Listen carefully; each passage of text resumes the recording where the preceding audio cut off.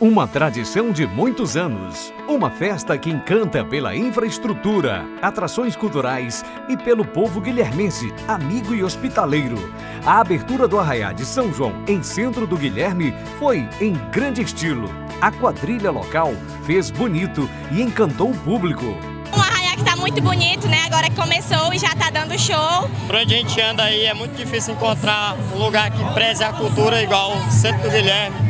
E a gente fica muito gratificado de encontrar um arraial bonito e um público para assistir a gente. É muito gratificante, é maravilhoso você dançar e mostrar é, que o povo está gostando do que você está fazendo, né? O prefeito Zé Didário estava acompanhado do vice-prefeito Ives Evangelista e do deputado estadual Josimar Maranhãozinho. Todos destacaram a grandiosidade do festejo, que é tradição na região.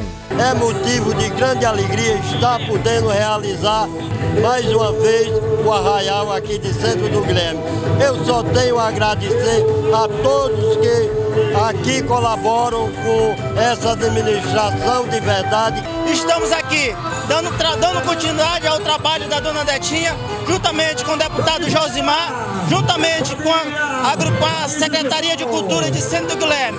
E assim como vice-prefeito, me sinto honrado sendo filho de Centro Guilherme. Centro Guilherme, desde o ano de 2009 que Detinha assumiu esse município, os arraiais têm sido um dos melhores do estado do Maranhão. E na gestão do prefeito Zé de Dário não poderia ser diferente.